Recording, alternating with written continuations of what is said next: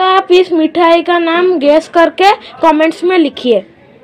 मैं आपको पाँच सेकंड का टाइम देता हूँ। One two three four five